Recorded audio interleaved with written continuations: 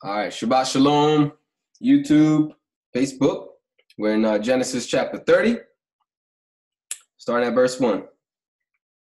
It says, When Rachel saw that she bore Jacob no children, Rachel envied her sister. She said to Jacob, Give me children, or else I will die. Okay, here we go with the more more dysfunction dysfunctional relationships here going on. Verse 2 Jacob's anger burned against Rachel, and he said, Am I in God's place who has withheld from you the fruit of the womb? She said, Behold, my maid, Bilhah, go into her that she may bear on my knees and I also may obtain children by her. So supposedly, I heard, because I was listening to a message on this chapter, that the term uh, bear children on my knees is an idiom of like an adoption. I guess when somebody has children, they put the baby on their knees. It's like they're claiming the child as their own. So that's kind of what's being said there. I'm not sure. I didn't look into it. I didn't double check, but you know, it's a kind of weird phrase. Like, where, where is this coming from? You know, behold, my maid Bilhah, go into her that she may bear on my knees, and I also may obtain children by her. So it's kind of like taking the rights of being the the mother even though she didn't uh, bear that child. Milo. Yeah, I did look up. Like it is actually like um. Well, from what I found, that it is illegal. Sorry, illegal standing that the children of uh, Bilhah would be looked as Rachel's children, okay. um, and that and henceforth why she's why she names the children, and you don't see so much in regards to was this Bilhah? Yeah, Bilhah was first.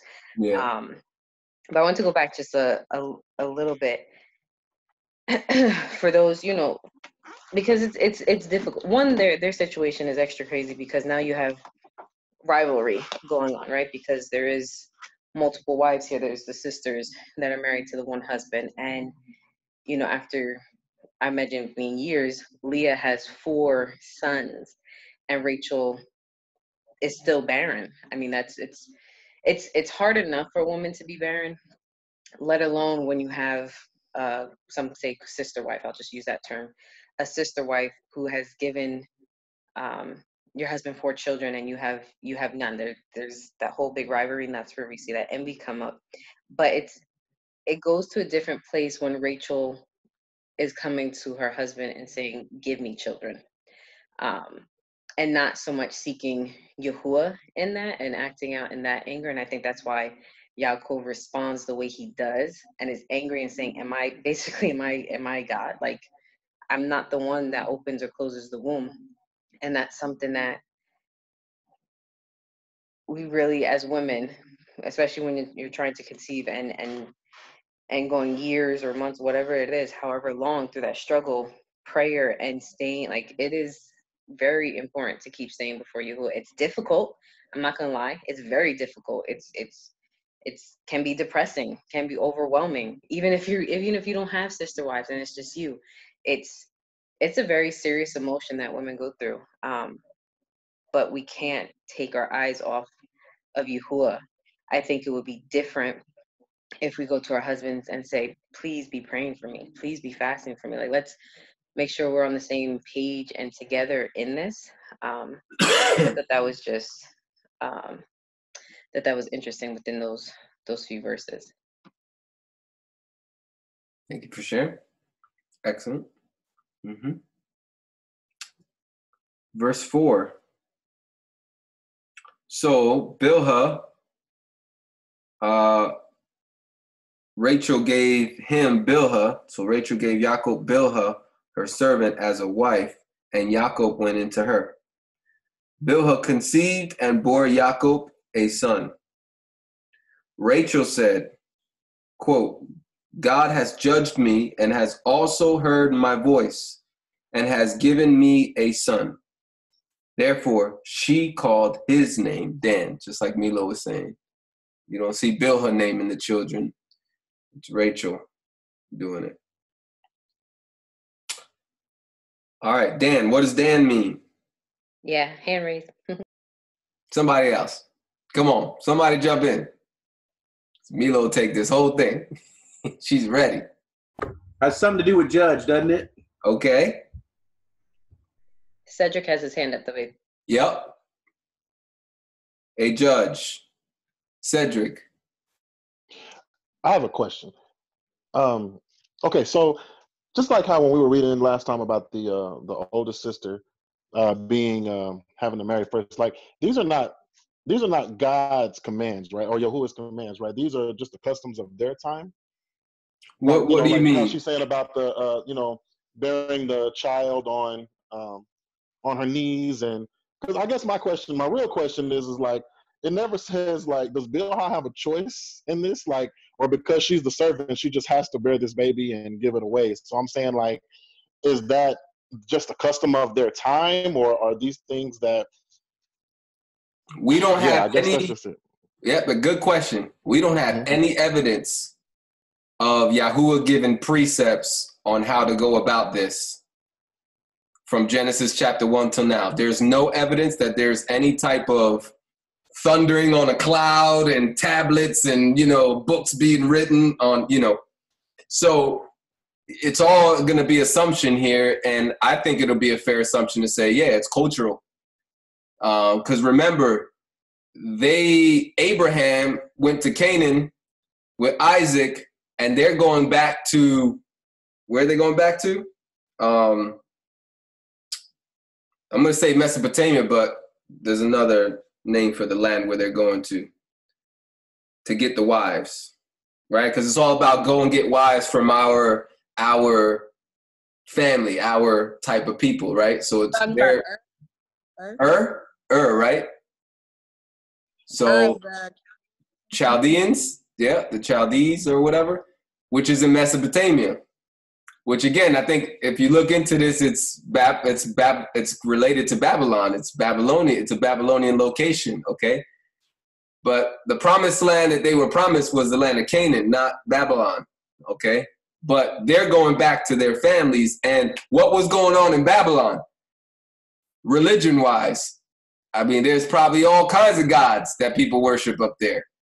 So, you know, we don't know where these precepts come from, but we do see later on, Yahuwah does give instructions through Moses on how to facilitate having multiple wives, how to treat them. So it's not that Yahuwah is against multiple wives. He's not, because he's already given his stamp of approval by giving instructions later on about it. But if we were just, if we didn't get there yet, if we didn't, if we were people that were just reading the scriptures from beginning to end and like watching a movie, we have no idea where these precepts come from or where this culture, where these, you know, so all this we're just taking it in because it's it's it's the way that they lived.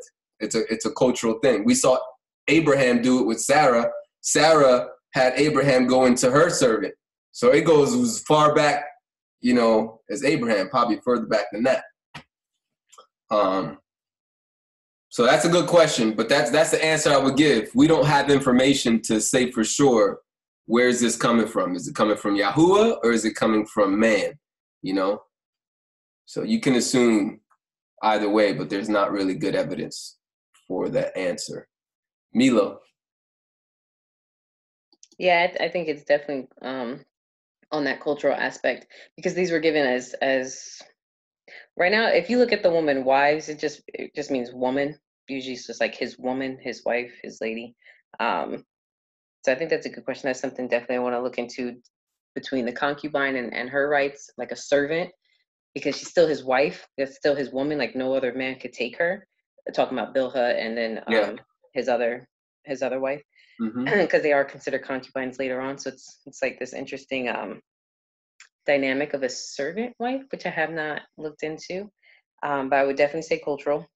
I do know last week when when uh, Ezzy had mentioned the the only aspect that I can remember where a child is not considered yours that is from Yahuwah is later on the rights of redemption, which we had talked about last week. So, for example, if if my husband, like my husband, right, he has two other brothers, two older brothers, and if we did not have a child together, like, and he passed away, so we never had any children under underneath Darnell, I will go to his brothers.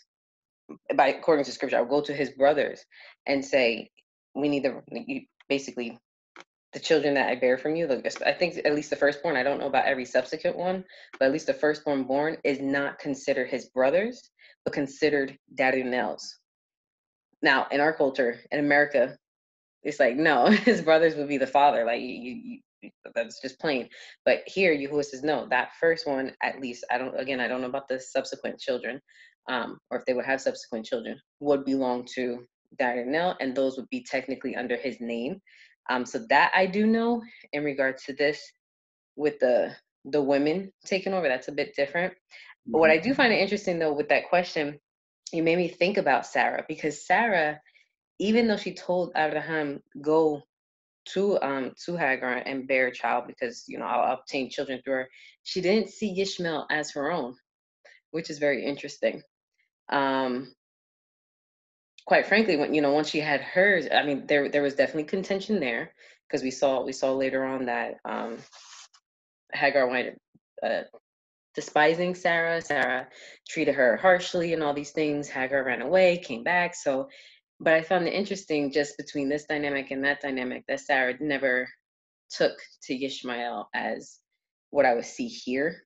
Um, and again, that so that's just interesting. But going back to the question with the names, when I was reading something, and it was kind of interesting, they're talking about um, the way Leah named her children versus the way Rachel started naming her children. So I wanted to go to Leah's children real quick, the first four. Um, and then Rachel. It just made me think, if I may. So Leah had four children, and I'm just going to run through them real quickly.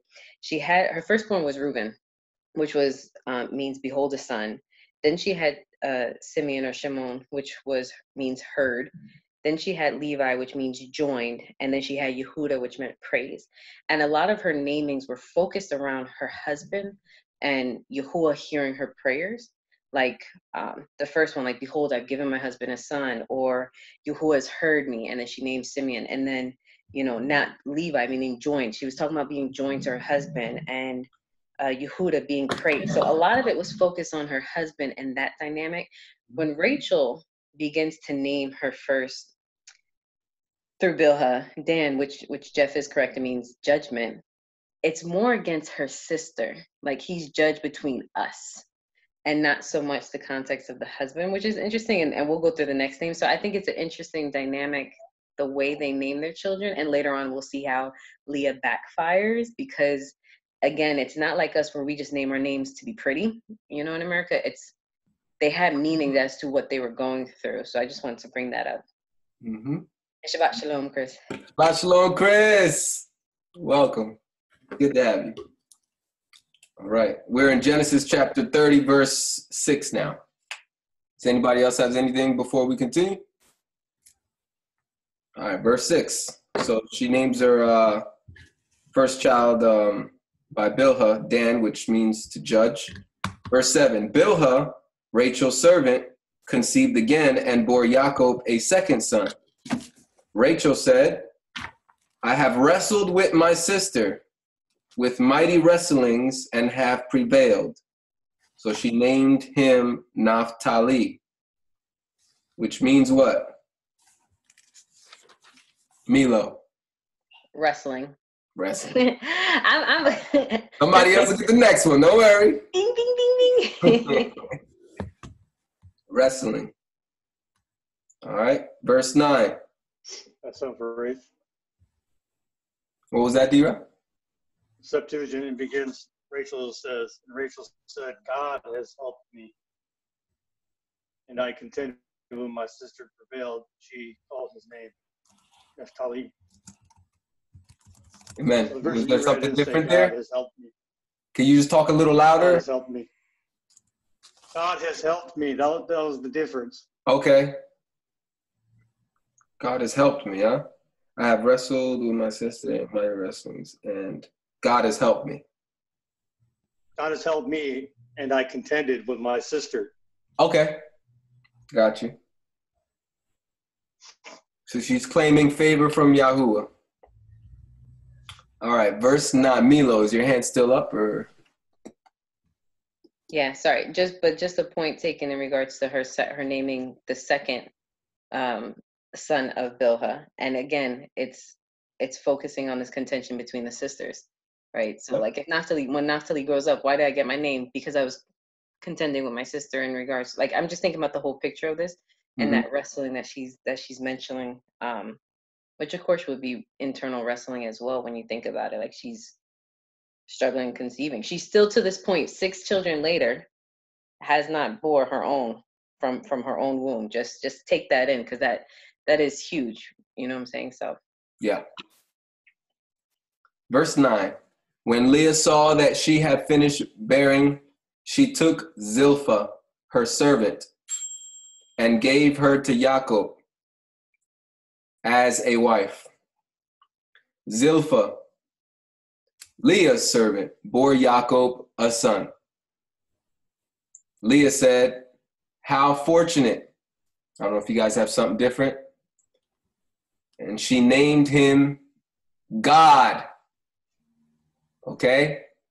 We talked about this before. This is definitely God. That's how you pronounce it.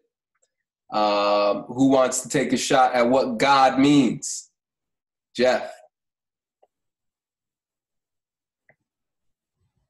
It means troop. Yep. A troop. Yep. Or it could also mean what? There's another definition there. And and think about the uh think about the verse too. Again, depending on your translation. I have in my web translation it says how fortunate, but in different translations it says something different. Mine says What does yours say, Jeff? And which translation are you reading? I'm reading the web, by the way. So the web says, How fortunate in verse 11. Who has something different? You're muted. Go ahead, Jeff. um, she's reading one version next to me, and I'm reading a KJV next to her, and it says that. Uh, oh gosh, where'd it go? It says, "And Leah said, A troop cometh, and she called his name God." So a troop cometh. That sounds different. Anybody got something else? Do you? Happily. It is happily. She called his name God. Happily? Happily. Like happy. Happy, yep. Happily. She called his name God. Good luck. Did anyone read the what luck? Mine says what luck. So she named What, his name. what translation are you reading, Ezzy? This is Hallelujah Scriptures. Ah, okay. Mine says good fortune, and that's CJB. Yep. Pentateuch says good luck. Yeah, if you look at the definition, depending on what definition dictionary you're looking at, you're going to have two definitions a troop, which is a military word, or for, uh, fortune, which is, I mean, if you think about it, fortune to some of us, it might sound pagan and sound bad, but fortune is just blessing, it's prosperity, it's, you know, it's, it's, uh, you know it's favor if you want to say in a different way. So if you're thinking about what milo's been saying so far there's this contention going on between the two sisters and they're having kids and a lot of the naming that leah's had like my wife said right? Leah's been naming her kids based on her relationship with with Yaakov, right rachel's starting to name her kids based on her relationship with her sister so it's like you know, she's wrestling with her sister. My sister's against me. I'm against her. God is judging me. Oh, look. So maybe now Leah's getting into it, you know, getting, she's like, okay, Rachel wants to get her servant, you know, to Yaakov, then I'm getting my servant to Yaakov too. So my servant could bear. So it wouldn't make sense to me personally that this would be it would be fortune. I think that would be, in my personal opinion, it would be fortune because it's like how fortunate, you know, how I'm I'm I'm still bearing getting giving my husband more children, you know. And uh, later on, we see how this word God is used by evil men and evil women to worship a deity that they worship, not that the word itself is evil. Because if the word itself was evil, Yahuwah would come down, would send an, send an angel or send a prophet of some sort to say, You shall not be called God any longer. Your name shall now be. You know what I'm saying? If the word God was really that pagan and that forbidden, it, it would have been it would have been known by Yahuwah. So there's a lot of people out there, you know, people in our in our walk, Hebrew roots, you know, messianic, and they're sacred namers, sacred worders, I will call them, that they now forbid you to, to, to pronounce the word God, even though we're in English, we're not in Hebrew. So when I say God in English, I'm not referring to, you know, fortune in Hebrew. I'm speaking a different language, you know, but people would like to connect the two because they, they like making connections. These, you know, sacred worders, they like to like puzzles, putting pieces together and just put things together and come up with a conclusion, even though that's not the way linguistics works, you know. Who you condemn is the people that speak the Semitic language of Hebrew, using the word God to worship a deity that they call God. See, they're, they're doing it in the same language, in Hebrew. Again, let's not forget, Abraham came from Ur, Mesopotamia, aka Babylon. And they're going back, they're, Abraham's children, Isaac, Jacob, are going to Mesopotamia to get their wives. All right, these are these are the people that we're dealing with. So later on, when you start seeing the word God being used to worship a different deity, don't be surprised because there were Semitic Hebrew speaking people in Babylon and Mesopotamia. But that does not make the word evil. And here you see one of the children are named either Fortune or Troop, however you want to see it. I, I will go with Fortune. I think it's consistent. That's why it makes sense later on. People are using that name fortune to worship a god of money or of some type of prosperity because that's a good word that goes with it. Anybody else got anything on that before we move forward? All right. Verse 12 zilpah leah's servant bore jacob a second son. Leah said happy am i. Were you reading verse 13 last time d instead of 11 Negative. What's what's uh what's your verse 13 say in the Septuagint? Uh, I am blessed. Okay. So so it was happy. Hear me? Yep. Okay, verse 13 in in my translation says, Leah said, "Happy am I, for the daughters will call me happy." She named him Ashar. Ashar, however you want to pronounce it, Asher or Ashar. Uh, that's H836. Anybody want to take a shot at that? Milo? Means happy. Yes. Root word is almost exactly the same. Ashar means to go straight, walk, go on, advance, make progress, go straight, happy, blessed, all kinds of good stuff. All right, verse 14. Reuben went in the days of wheat harvest and found mandrakes in the field and brought them to his mother, Leah. Then Rachel said to Leah, Please give me some of your son's mandrakes. Here we go. Two sisters going at it. Leah said to her, is it a small matter that you have taken away my husband? Would you take away my son's mandrakes also? Rachel said, Therefore, he will lie with you tonight for your son's mandrakes. I don't really know the significance of this. What I do know about mandrakes, I don't know what the connection is here. I really don't. But I do know that the the the fruit mandrakes is a romantic fruit that's used in the book of Song of Solomon as well. Um, you know, talking about intimacy between a husband and a wife. I don't know what the significance is is here. What you know, what why does she want these mandrakes from the son? I don't know if there's another cultural kind of is there some kind of something she's taking from him that's more than just mandrakes? Is this like a rights kind of is she trying to overstep boundaries of some sort? I'm not sure. I don't really know the answer to that. Milo. Some would say um, one in the aspect of uh, being an aphrodisiac, and and two in the sense of helping to conceive. So Mhm. we know that there are natural things, um, plants, herbs like maca root, things of that sort of nature that can start helping your hormones, helping conceive. Mm-hmm. So, um, some some take on it is that the mandrakes uh, was very huge because again, Rachel hasn't conceived at this point uh, herself. Uh-huh. She's conceived through. She hasn't conceived, but her her servant, her maid, Right. has, but she herself hasn't.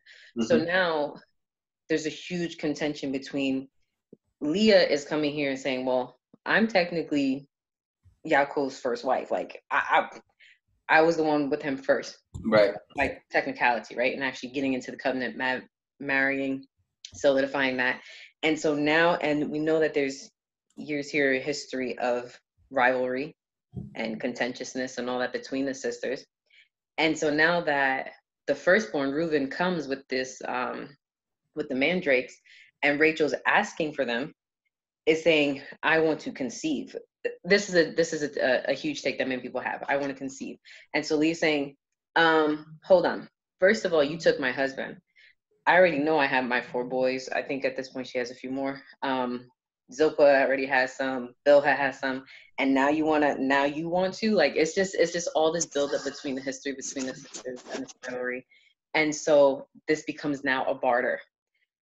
Fine, give me the mandrakes.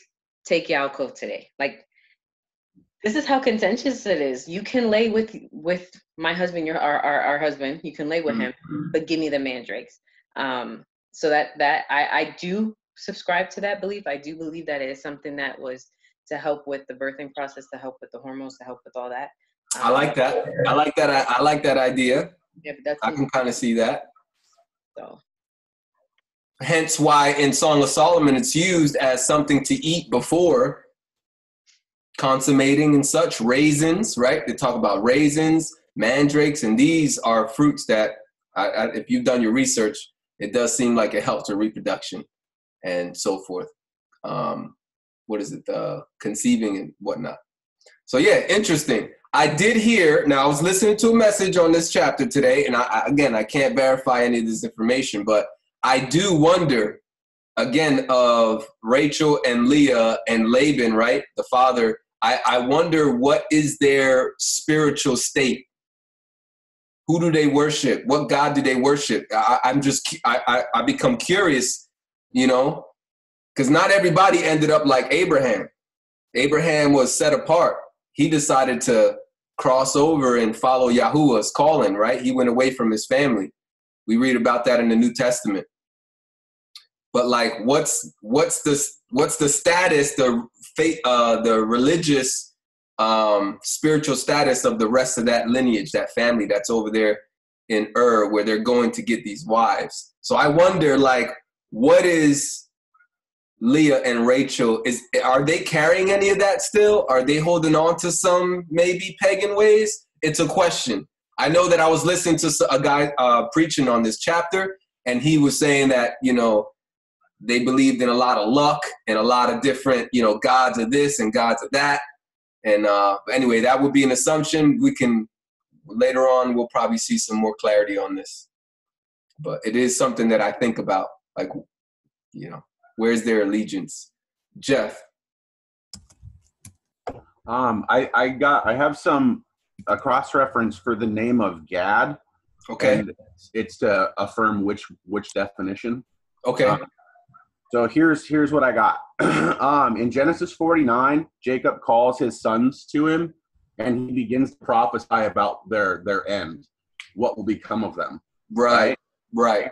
If you go down to 49 verse 19, he prophesies to Gad, and it says a troop will overcome him, but in the end he will. Over- says Gad, a troop shall overcome him, but he shall overcome at the last. So it's it seems like maybe it's a prophetic name. Yeah. If you go to the list, it's got all. Sorry, go ahead. Does it say a troop will press on Gad? Um, it says in my in I'm just online right now, uh, and it just says uh, Gad, a troop shall overcome him, but he shall overcome at the last. Yeah. So that's I mean again, like this is I'm not gonna I'm not gonna make a big deal of it, but to me, it sounds like it's not saying that Gad's a troop, but that even though Gad's not a troop, he's still gonna overcome a troop. Again, that would that would that would mean to me being fortunate or being blessed or being favored or you know, it's almost like uh, David. David's not a big strong guy, but he defeats Goliath with a stone and a slingshot. You know? Somebody sharing screen? What's going on here? Who's this? Oh, Christopher Mallet. Christopher Mallet's experimenting. um, but yeah, that's that's what I would say to that. So it didn't say Gad was a troop, but that a troop would try to overcome him, but Gad would would uh, over overcome the troop. So, but good find, good find. Uh, let's go back to chapter thirty. Milo, go ahead. Um, well, let, well, let's think of it in the, in this regards. Quantity. A troop, an army has a lot of people, right? And Sure. we know Leah. J- just a thought process. Leah has four, and then her servant has two more children. Yep. Um, so it could be in, in that regards as to quantity, like Okay. in, in that sense, like I'm building a troop. you know. some Yeah, I got a little military. All right. Okay. Um, but the second part, you you asked in regards to the idols or asked in regards to their gods. I would say yes, they were influenced at bare minimum Rachel, because later on, and I'm not gonna have the cross reference right now, but we know that later on when Yaakov wants to leave, and he does wind up leaving with his wives and his children, Rachel takes an idol, yes. and Laban her. That's what I was waiting for, but you jumped ahead and you shared it. But yeah. I, I got it. I got, like, if you mentioned it, might as well. I'm not gonna dive fully into it, but yes, I would. So I would say there is Right. that, um, that tug between, because you have to remember, uh, most, um, if not all, actually, of these of these pagan nations were polytheistic. Absolutely. Monotheism was not the, even to this day, monotheism is not the majority. Right. When they talk about monotheistic religions, you usually name top three. You usually name Islam, uh, Christianity, and Judaism. Right. Most religions, or you know, Hindu, Buddha. exactly, are polytheistic and will add on gods. Yeah. Basically. So, okay, now I know your God is legitimate. Let me just add him and worship him, um, and bring him into the fold of the many gods I already have. So, I would say that's definitely something that was still a tug, and you can see it within our, excuse me, within our history of Israel. What do they do? They go back and forth between other gods. Um, it is something that's within there a temptation. Idolatry is like one of the like the top sins um, that our people wind up committing. So I definitely would say that there is that influence in regards to um, other deities and, and and the way they were raised and such. Agreed. Agreed. That is definitely my my thought process as well. Anybody else? Nope. Jeff? Yes? Go ahead. This is a little tenuous, but my wife just looked up the mandrake thing on Google, Uh-huh. and there's a ton of pagan reference back to the mandrakes and and There you go. honoring the mandrake in some way.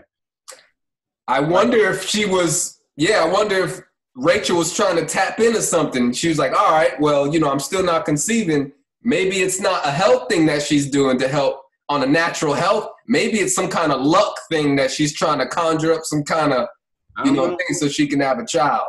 There- It's, it's even in Harry Potter. It looks like. Yeah, yeah, yeah. Just Google, Google it. There's a ton of there's a ton of stuff about it, and um, but it's all these uh, you know, quote unquote pagan sources. Yeah. I always thought it was referenced in uh, the story of um, Sleeping Beauty when the witch gives her the apple. I thought that was supposed to represent a mandrake. If you look up that, you know, Disney is very pagan. So Yeah. So tenuous, maybe, maybe there's something there. Maybe Again, yeah, no. All, we could do is kind of like, you know, assume a little because it's not really giving us the answer to this. But later on, like like my wife said, later on when when they do go away, Rachel's carrying an idol. She's stealing an idol. You know. So you can uh, you there's obviously some idolatry, pagan, polytheistic influence here in this family with Laban, Rachel. I believe so. I think it's in the family. I think it's in the culture. And Abraham is the one that stands out. He's worshiping a monotheistic, only God, you know, Yahuwah. He's passing this on to Isaac. He's passing this on to Yaakov, you know. Obviously, there's a lot of dysfunction going on in the beginning of all this. Can you imagine, guys? Like this is this is Israel.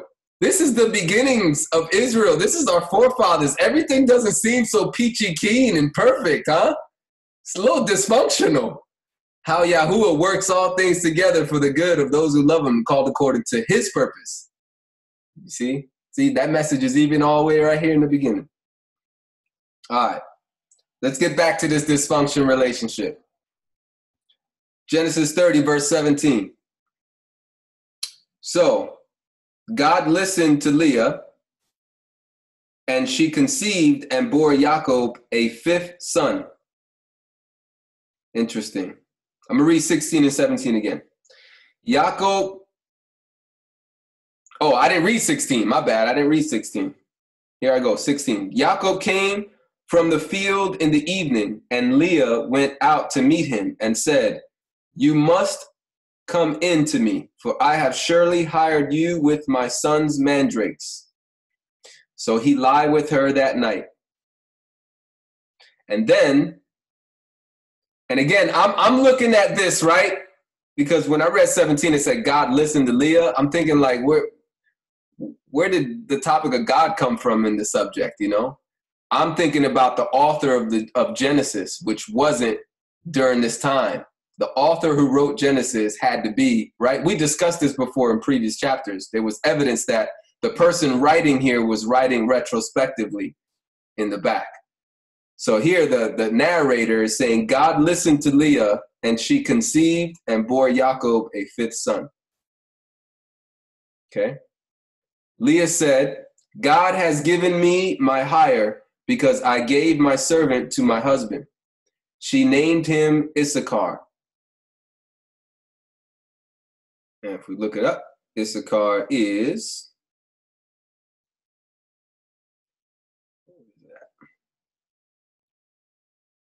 H3485, there is recompense. There's recompense.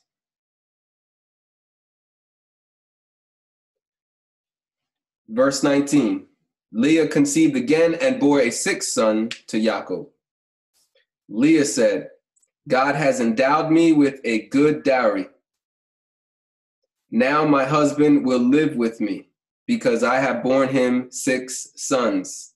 She named him Zebulun. Zebulun, H2074, which means exalted. I don't know if anybody has anything different than that. Habitation. Habitation, okay? Yeah, dwell with me. Habitation. I like that one better, actually. Mine says dwelling. Dwelling, yep, dwelling, habitation. I like those better than exalted.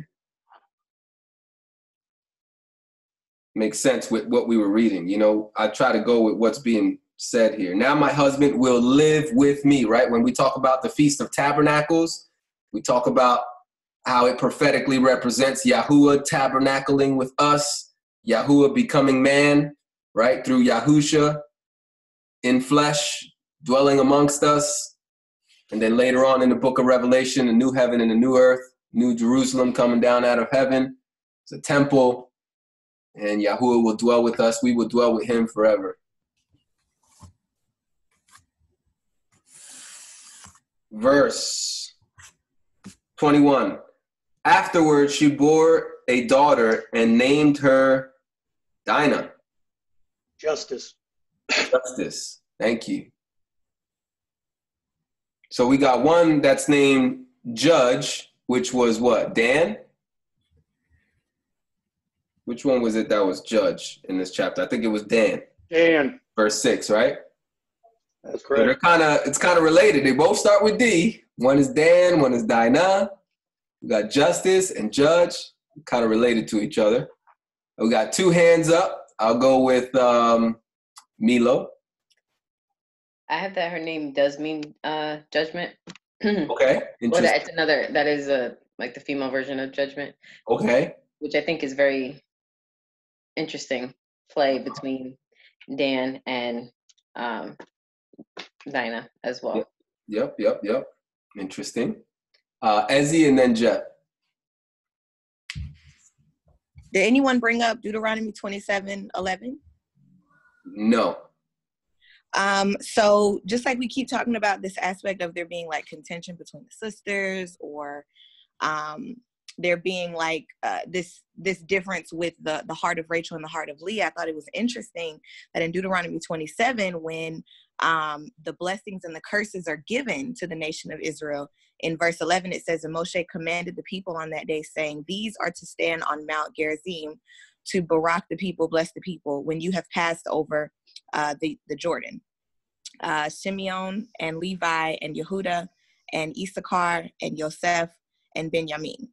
And these are uh, to stand on Mount Ebal to curse Reuben, Gad, Asher, Zebulun, Dan, and Naphtali. And if Hmm. you look at the way in which they were conceived and the way in which they were named, I think Yahuwah is showing what the the heart really looked like when they were being born. Because even um. Even Zebulun, the way that Leah named, because all of her children except for Zebulun are all standing on the blessed mountain. But Zebulun was like that retaliation baby to Rachel. So I thought that was interesting. Um, I don't know if anyone else caught that. Good catch. No, I was I was not looking at that. That's a good that's a good catch. All right, um, Jeff. I was just gonna say the same thing about judgment. That Dinah in mine means judgment. Interesting. All right, verse 22. Let's keep going. All right, now it says here God remembered Rachel, and God listened to her and opened her womb. She conceived, bore a son, and said, God has taken away my reproach. I just, I, I can't help but think about I just I just can't help think about how God is involved and what is the spiritual state of these women. I just I just I don't know, I'm just saying what's on my mind, okay? I, I don't know how to very verbalize it well, but it's something to the effect of even if you're a sinner, God is still involved in your life in blessing you.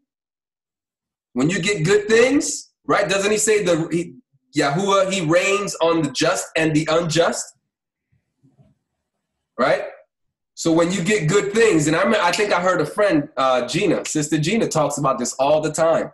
She talks about how even in our wandering state where we were off the path, there are moments, if you are able to recite and remember and look back, you can probably count how many times God has stepped into your life to help you with something, and you never recognized it as being Him that was helping you. Even as a sinner, I think that's fascinating. And I wonder if that's kind of what's going on. Like, I, I don't know. Have we read where Rachel and Leah make an allegiance to Yahuwah, the God of Abraham? I mean, have, did I miss that or did we never really read that? I don't think I ever really read that. I read that Jacob's looking for wives and he comes and he wants to get some wives. And Jacob should be serving the, the one and only true God, right? But where's where's the state of these women, you know? And I, I just see God involved, like he's hearing their cry and he's allowing them to conceive, which is a blessing from Yahuwah. It's a blessing from God. God gives life. You know, I just, I don't know. My mind just, every time I read a verse that says, God remembered Rachel, I'm like, his mercy. I'm just thinking about his mercy, his grace. You know, in the midst of all this bitterness, contention, hatred, um, you know, God is hearing. I just, I don't know, man. I just, I just found that it just sticks out to me every time I read it. I just have to stop. Jeff. Okay, I'm gonna take this all the way forward to 1 Corinthians 7:14. Oh yeah. For the unbelieving husband has been sanctified through the wife, and the unbelieving wife has been sanctified through her believing husband. Mm. Otherwise, your children would be unclean. But Mm. as Thank it you, is, Jeff. they Thank are you. holy. That's Thank you, Jeff. I was thinking the about same that too. That was in the back of my mind. I was thinking about because of Yaakov. I was thinking because of Yaakov. There's some favor here. I was thinking of that too. Can't have Israel be unclean children. Yeah. Yeah, it'd be really awkward if both Yaakov and all them were all pagans. You know what I mean? Like, is this the beginning of right? But then you At got to least- pull clean out of the unclean at Yeah. that point. They had to start clean. Yeah. It starts with Abraham, right? Or it starts with Noah, and then Shem, Abraham, Isaac, Yaakov. We have the ones that are called out, separated, you know? But yeah. All right. I like that. Good connection. Sanctified, the wife is sanctified through the believing husband, or vice versa, according to Paul. You know, the husband could be sanctified through the believing wife. Now, I never believed that that was talking about them being saved. I do believe, yeah, yeah. I- saw your hand up, Amani, and, and I, I, I do. My whole Christian life, you know, that was kind of like the belief, right? That the but that doesn't make any sense. Like I believe every individual is responsible for their own salvation, but there is this element of there's some kind of spiritual reality to having a believing husband in the midst of having an unbelieving spouse. There's something. There's something there you know, and we can see it right here in Genesis. I think we see evidence for what Paul is saying right here in Genesis. Jacob is a believer. Rachel and Leah are questionable. We don't know where they're at. I mean, we kind of read ahead and saw that Rachel's still keeping idols. But in the midst of this, in the midst of their spiritual, poor spiritual state, Yahuwah is involved in blessing them and being gracious and merciful to them. Perhaps that has to do with what Paul is saying in that Corinthians passage. Thank you, Jeff. That's good. Milo and then Ezzy. And there's I'm gonna read from um Genesis 26, verse. This is talking to mm, to Yitzhak, right? So we know that Abraham had the covenant. Goes down to Yitzhak. I'm just gonna take take one of them. In verse three, it says, "Sojourn in this land, I'll be with you and bless you. For unto you and to your seed, I will give all these countries. I will perform the oath which I swore unto Abraham your father. I will make your seed to multiply as the stars of heaven, and will give unto your seed all these countries." and in your seed shall all the nations of the earth be blessed because that Abraham obeyed my voice and did guard my watch, my covenant, my commandments, my statutes, and my Torah. And then it gets passed down to Yaakov. There's also this aspect of, yes, I agree. When you first asked the question, my thing is he rains on the just and the unjust alike. Um, at the same time, Yahuwah is very covenantal, and we mention that all the time. And it's something to not forget that Yeah. he has a running covenant mm-hmm. going through Abraham, Yitzhak, Yaakov that will be mm-hmm. passed down to his children. And this is the birth of our nation, Y- mm-hmm. Yisrael, like you had said, as as contentious as it is, as as crazy as it is, messy as it is, it is the birth of what's going to be our our nation and the 12 tribes of Yisrael and it's going to set a whole precedent. So the, there's still this covenant that's running down um, and we just can't forget man is flesh. We we wrestle against our flesh. We wrestle against our spirit. So even if we look at you know the great patriarchs they were still you know areas where they had to to deal with sin and areas that they had to have um received mercy and grace from Yahuwah themselves as well as the women obviously so i just in my mind, I'm still thinking there's this covenant that is running down that's being passed down. Um, could Yahuwah have just used one wife and, and still had 12 tribes? Of course. Yeah. He's in control of it all anyway. Um, so there's more. He's he's definitely always looking into the situations for sure. I do believe he's he's hearing them because they're still praying, and you know, like I, I, I part of me thinks about those who come into the faith. I'm just taking this completely now, not even back then. Come into the faith from idolatry and having to be stripped away, right? Slowly but surely, having to get away from these things. I mean, there's times in the scripture where even I think Yahusha, not talking about the Messiah, um, has to say, put up, put away your idols. Like it's continuous throughout throughout generations. Put away your idols, cleanse yourself, go Yeah. be sanctified. That this has to happen. It is still this process of sanctification is not something that it makes me think of the process of sanctification. It's Yeah. not overnight. Um, especially like you mentioned when you're when you're brought up in a culture, when you're brought up being polytheistic and things of that nature. Um, and when you're dealing with your own sin, rivalry, and contentious and maliciousness. So, but Yahuwah does remember, and, and I know that he has his covenant standing, and he's going to keep to his promise for Abraham's sake, which is very interesting. Uh, so that was just my my thoughts in regards to that. Amen. Ezzy. And then uh, Chris.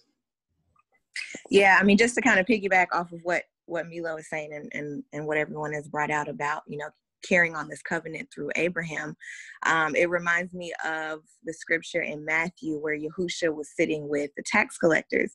In um, Matthew 9, it says, And when the Pharisees saw it, they said to his Talmidim, Why does your teacher eat with tax collectors and sinners? And Yahusha, hearing this, said to them, Those who are strong have no need of a physician, but those who are sick and you have all of this dysfunction and contention going on which is also exemplary of why you know the law of moses is there on on how to dwell with wives and how to do certain things if we didn't have this example of what not to do you know there wouldn't be maybe there wouldn't be a need for Yahusha to come. I mean, if you're already righteous and you're already doing everything right, and if everyone is as righteous as Abraham, I mean, what what more I, I don't know. I just think that it's it's needed.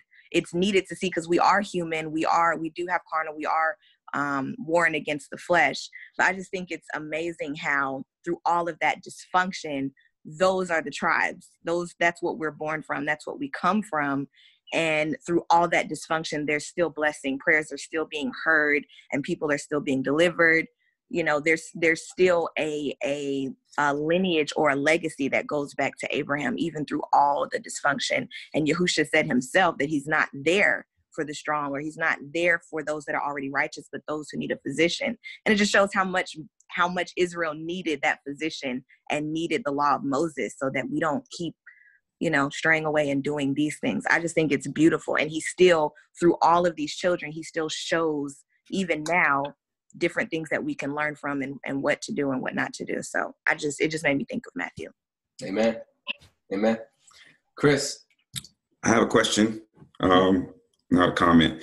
My question is, um, you had mentioned your Darnell You had mentioned you wanted to understand the, the um, just the spiritual state of Jacob's wives. Um, if you don't mind, just commenting on Jacob's uh, Jacob's spiritual state, even as we examine the wives' spiritual state. So if you, if you don't mind, if you could just comment on Genesis 28, 18 and give me your perspective on that, then that would that would help me um, also put in perspective Jacob's spiritual maturity or his level of faith when it came to uh, trusting Yahuwah. Yep, you said Genesis 28, 18. Yes. All right. It says, Jacob rose up early in the morning and took the stone that he had put under his head and set it up for a pillar and poured oil on its top. 19.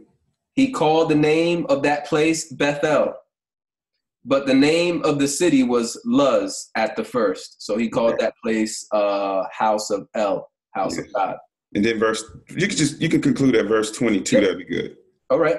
Jacob vowed a vow, saying, If God will be with me and will keep me in this way that I go, and will give me bread to eat and clothing to put on, so that I come again to my father's house in peace, and Yahuwah will be my God, then this stone which I have set up for a pillar will be God's house. Of all that you will give me, I will surely give a tenth to you.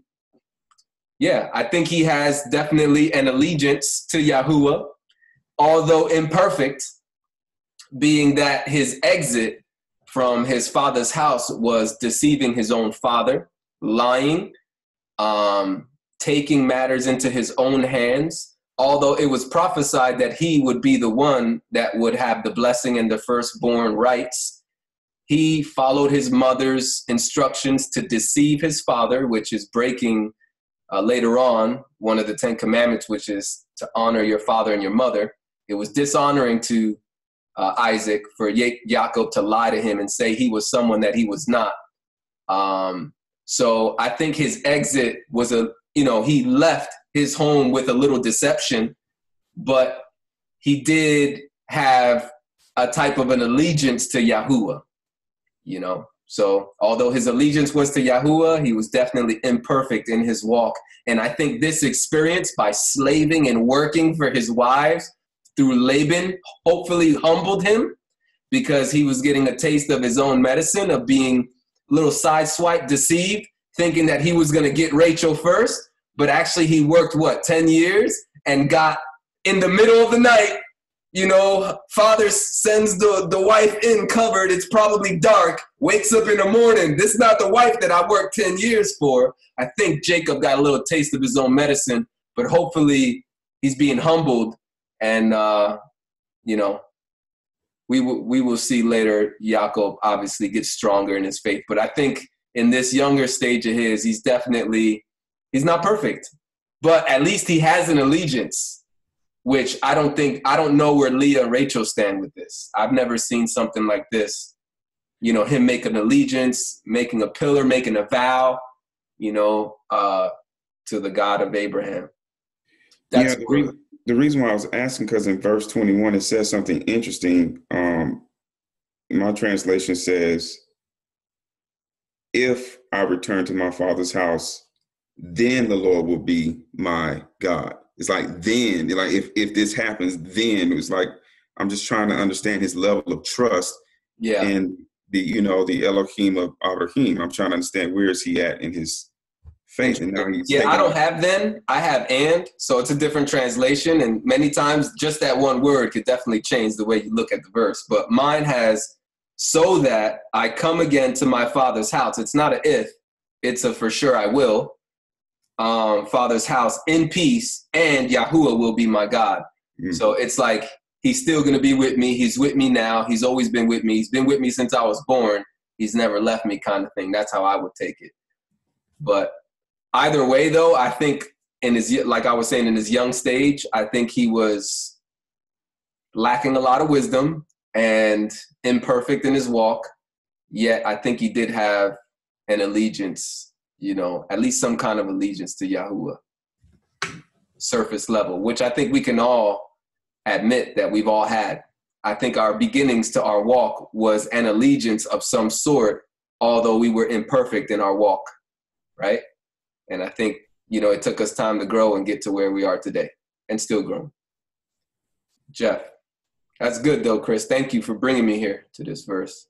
But even underlining all of that, there was still a promise made to Abraham right? Yeah. So, so mm-hmm. one way or another, it had to go this way. But I, I never realized it until right now that exactly what Jacob did. He had a fast one pulled on him in the exact same manner in the middle of the night, covered up, pretending to be somebody else. Uh, I just caught that when you guys mentioned it. That's really great. That's kind of like Cain and Abel, and and you know the payback that they kind of received because of the, the losing a, a kid. Man, that's, that's no, I don't take credit for that. That was brought up in our study. Somebody, I forgot who, but somebody in this group brought it up. So I don't take credit for that. That was actually somebody in the group. And I was like, ooh, I like that idea. That sounds, that makes sense to me. You reap what you sow, you know?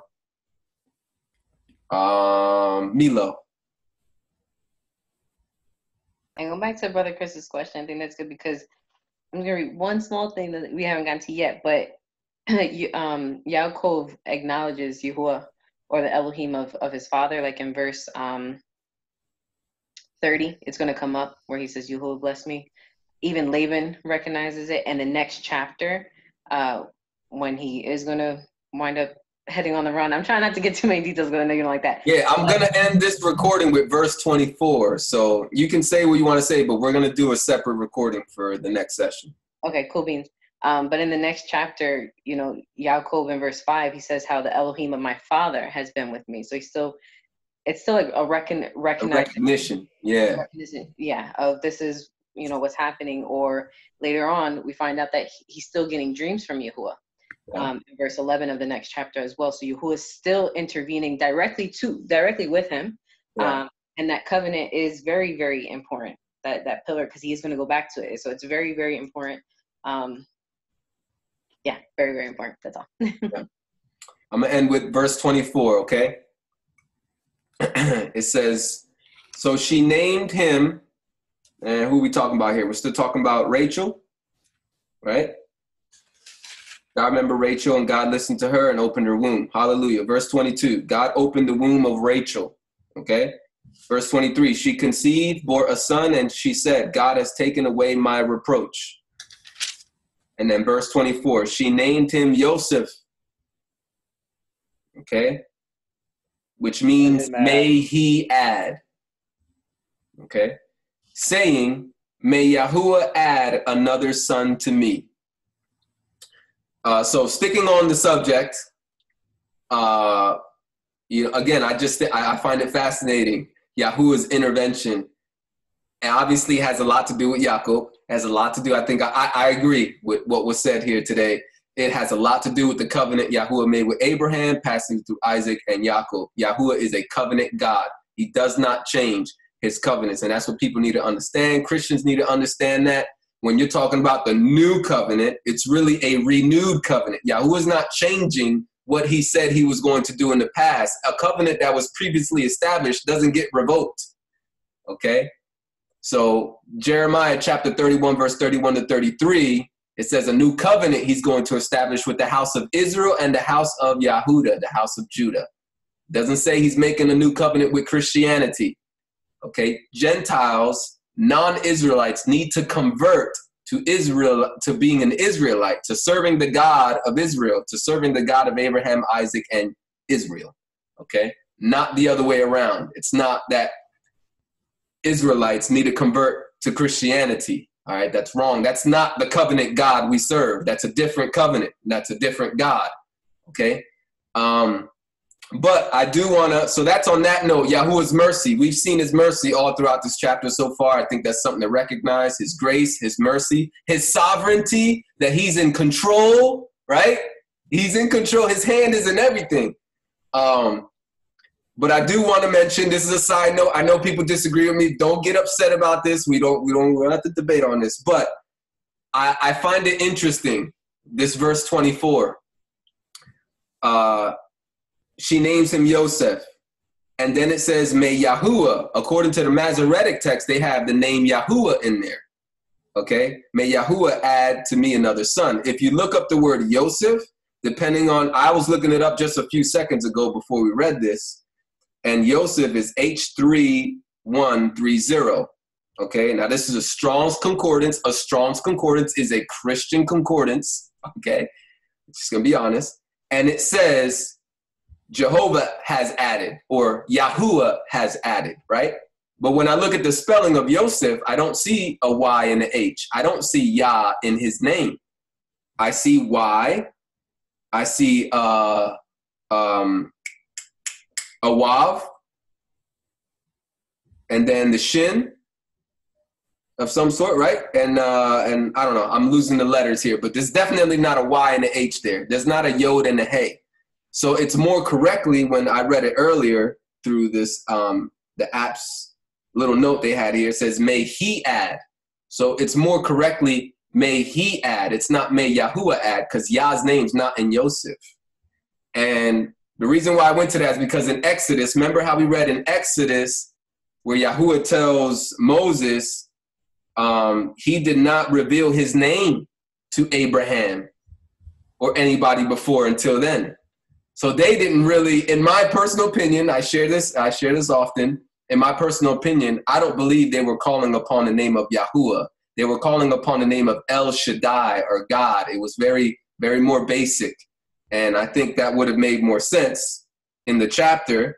But I know the author, whoever the author is, whether it's the author during Moses' time or whether it's some some Masoretic text Israelite person that rewrote the Old Testament, they put the Tetragrammaton, they put Yahuwah's name in here. It causes a little confusion. You know, some people are like, "Oh wow, they knew the name," and then we read in Exodus, no, they didn't know the name. So, um, I just wanted to make that little that little note there. I think the narrator, the author, is obviously crediting the God Yahuwah to all of this, and rightfully so, because it is Yahuwah doing it. But I don't think that's that's originally what uh, Rachel was saying. I, I believe it would have been more. She was basically just saying, God has added to me another son. Anyway, that's just a small little note, nothing really deep, but um, every the, the main message was just honoring, recognizing Yahuwah's covenant, his mercy, his sovereignty, his control, um, his mercy and grace in the midst of, of uh, our immaturity, um, or, or even before our uh, state of being believers, trying to see, you know, if, if you're watching this video, I highly doubt it, but if you're not a believer and you're watching this video, or if you know somebody, you are a believer, and you know somebody who's not a believer, I would challenge us to try to point, challenge the person to point at blessings and things that have happened in that person's life that could be credited to, to God being merciful and gracious in their life. And if he's been so gracious to you, you know, why why not why not plead your allegiance to him? Why not surrender your life to him? You know, hasn't he been good, hasn't he been good to you? You know, kind of a kind of a thought process. So that was a thought inspired by a friend of mine, you know, Gina Marcus. They talk about this subject a lot. You know, Yahuwah's mercy, Yahuwah being in their lives, always being in their lives. You know, and I get it. I get it. I understood, um, and I understand now. Uh, so anyway, I hope you guys enjoyed the study. Uh, join us on the next one. We'll continue from verse 25 and on on the next one. But this was Genesis chapter 30, verses 1 to 24. Shalom.